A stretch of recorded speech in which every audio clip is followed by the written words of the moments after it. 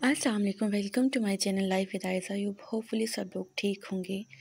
इंशाल्लाह अल्लाह के फजल करम से आज हम बनाने जा रहे हैं मटन मलाई हांडी। सबसे पहले मैंने जो है इसको स्टीम कर लिया है। मटन को अच्छी तरह से जस्ट इसमें हल्दी, लहसुन और प्याज और अदरक डाल के इसको अच्छी तरह से हमने कर लिया है बॉयल इतना स्टीम कर लिया कि अच्छे से गल चुका है। इसको हम करते हैं बाहर निकाल के तो इसके पानी को लहदा निकालेंगे। और मटन को लैदा कर लेंगे।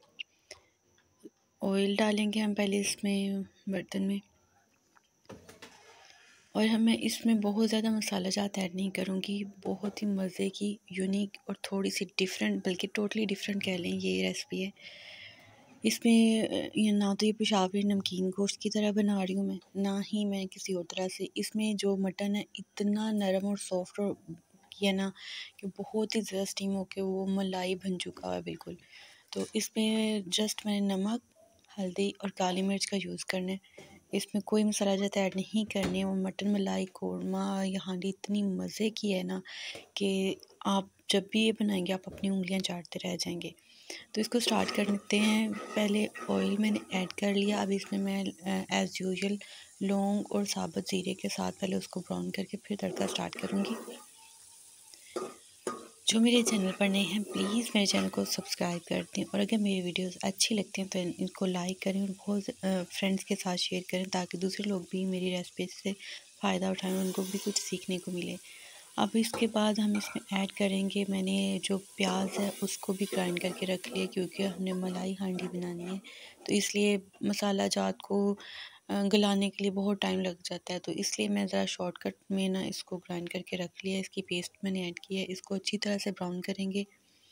यहाँ पे ये चीज़ नोट कर लेंगे प्याज को हमने इतना अच्छा ब्राउन करना है कि उसकी जो स्मेल है वो आउट हो जाए।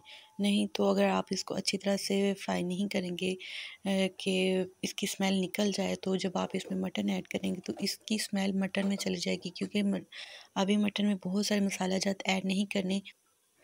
इसीलिए हम जो है ना, जो हमारा जो तड़का है, इसको अच्छी तरह से भूनेंगे ताकि जो मटन और जो मसालों की स्मेल है वो निकल जाए। प्याज की जो स्मेल है, वो भी स्पेसिफिक होती है, उसको भी निकाल देंगे। प्याज हमारा हो चुका है अच्छी तरह से ब्राउन इसमें मैंने ऐड किया अभी हल्दी पाउडर अब जाएगा एक टेबल स्पून नमक। नमक आप अपनी मर्ज़ी से कम या ज़्यादा भी रख सकते हैं, लेकिन इस मलाई हांडी में जितना नॉर्मल टेस्ट है, उतना ही अच्छा टेस्ट ही हांडी जो है ना, अपना टेस्ट देगी। मटन का एक अपना ही टेस्ट है होता है। ये देखिए, प्याज अच्छी तरह से हो चुका है ब्राउन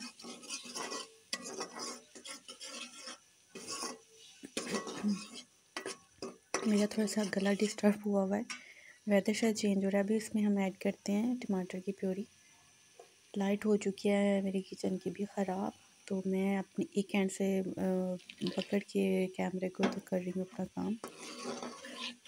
अच्छा अगर थोड़ा बहुत कहीं कैसा रह जाए दैन प्लीज़ आप इग्नोर कर दीजिएगा।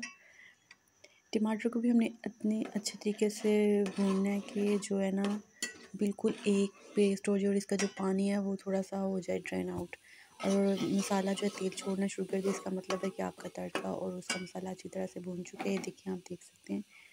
अब इसमें ऐड कर दिया मैंने मटन। इसको बहुत ज़्यादा हमें फ्राई करने की ज़रूरत नहीं पड़ेगी।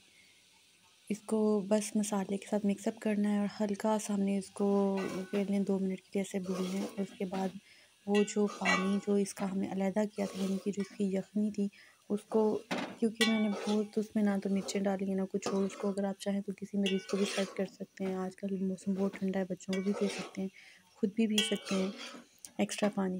तो अभी हम इसमें इतना पानी ऐड करेंगे जितनी हमें की ज़रूरत है। अभी इसमें बस एक कप पानी ऐड करूँगी उसका। ये इसमें एक कप पानी जाएगा। इसका जो अपना पानी था वही निकाल के यखनी को ऐड कर ली। इस यखनी को हम करेंगे ड्राई थोड़ा सा। हमारी मलाई हांडी हो चुकी है तैयार। इसमें मैंने ऐड किया है काली मिर्च का पाउडर, अपना बहुत ज़्यादा ख्याल रखिएगा तो हमें याद रखिएगा। मिलते हैं इंशाल्लाह एक नई रेसिपी के साथ। अपना बहुत ज़्यादा ख्याल रखें। अल्लाह हाफिज़।